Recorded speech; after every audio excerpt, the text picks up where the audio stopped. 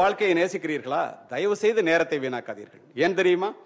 வாழ்க்கை என்பதே நேரத்தால் ஆனதுதான். கடந்து போன காலத்தை விலை கொடுத்து வாங்கும் அளவிற்கு பணக்காரன் உலகத்தில் பிறக்கவில்லை. நீ ஒரு பவுன் தங்கத்தை கொடுத்து ஒரு நொடியை கூட வாங்கி வைத்துக் கொள்ள முடியாது. பொழுது போக்குவதற்காக அல்ல மாணவர்களே மாணவிகளை பொழுது ஆக்குவதற்காக. இந்தியர்கள் கடிகாரத்திலே மணியை மட்டும் பார்க்கின்றோம். அமெரிக்கர்கள் மணியோடு சேர்த்து நிமிடத்தையும் பார்க்கின்றார்கள்.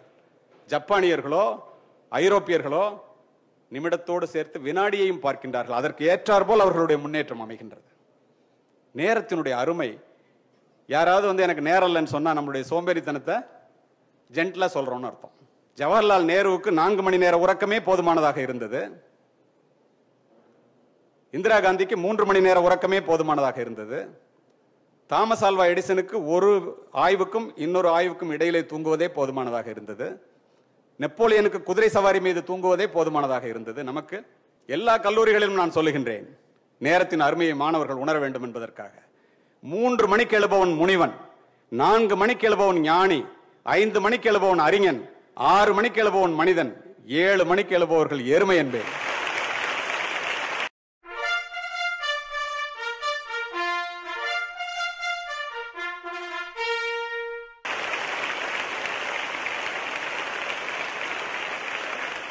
வாழ்க்கையிலே ஜெயித்தவர்கள் அத்துணை பேரும். காலையிலே படுக்கையை விட்டு சீக்கிரம் எழுந்தவர்களாகத்தான் இருக்க முடியும். நீ நியூசிலாந்தில் இருந்தாலும் நியூஜெர்சியில் இருந்தாலும் ஜப்பானில் இருந்தாலும் இந்தியாவில் இருந்தாலும் எந்திரிக்கும் போது இருபத்தி நாலு மணி நேரம் கையில் இருக்கு. அந்த நேரத்தை நீ எப்படி உபயோகப்படுத்துகிறாய்? உங்களுக்கு தெரியுமா? இதை சொல்லி முடிக்கின்றேன் நான். எழுபது வயது இந்தியர்களினுடைய சராசரி. மொதல் முப்பது வருஷம் படிக்கிறது குழந்தை பெற்றுக்கிறது கல்யாணம் பண்ணிக்கிறதுல போயிடுது. பாக்கி நாற்பது வருஷம். சராசரி இந்தியனுடைய வயதை சொல்கின்றேன். கடைசி பத்து வருஷம் ஹாஸ்பிட்டல் ட்ரீட்மெண்ட் படுக்க. இடைப்பட்ட முப்பது வருடங்கள். ஒரு வருடத்துக்கு முந்நூற்றி அறுபத்தஞ்சு நாட்கள். முப்பது வருடத்திற்கு பத்தாயிரத்தி தொள்ளாயிரத்தி ஐம்பது நாட்கள். இதில் தொள்ளாயிரத்தி ஐம்பது நாள் நம்ம டிராவல்லையும் நம்மளுடைய சொந்த வேலைகள்லையும் போயிடும். பாக்கி பத்தாயிரம் நாள் அதில் ஐயாயிரம் நாள் தூங்குறதுல போயிடும். உங்களுக்கு இன்னும் கொஞ்சம் அதிகமாகவே போயிடும்.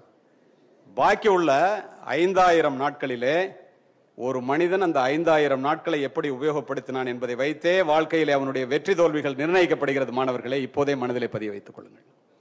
இதுதான் உண்மை. ஒரு மாதத்தினுடைய அருமை குறை மாதத்தில் பிள்ளை பெற்ற பெண்ணுக்குத்தான் தெரியும். ஒரு நாளினுடைய அருமை ஒரே நாளில் கவர்மெண்ட் சர்வீஸில் சேரும்போது பதவியை பறி கொடுக்குறவன் தான். லேட்டாக சேர்ந்ததுனால பறி கொடுக்குறவனுக்கு தான் ஒரு நாளோட அருமை தெரியும். ஒரு நிமிடத்தினுடைய அருமை ஒரு நிமிடத்தில் விமானத்தை கோட்டை விட்டவனுக்கு தான் தெரியும். ஒரு வினாடியினுடைய அருமை ஒரே வினாடி கண்ணை இருந்ததினால் விபத்திலே தன்னுடைய உயிரை அல்லது தன்னுடைய கைகால்களை இழந்தவனுக்கு தான் தெரியும். ஒரு மைக்ரோ செகண்டினுடைய அருமை ஒலிம்பிக்ல ஓடுற உசைன் போல்ட்டுக்கு தான் தெரியும். நமக்கு தெரியாது. தயவு செய்து வாழ்க்கையிலே முன்னேற வேண்டும் என்றால் நேரத்தை விரயம் செய்யாதீர்கள்.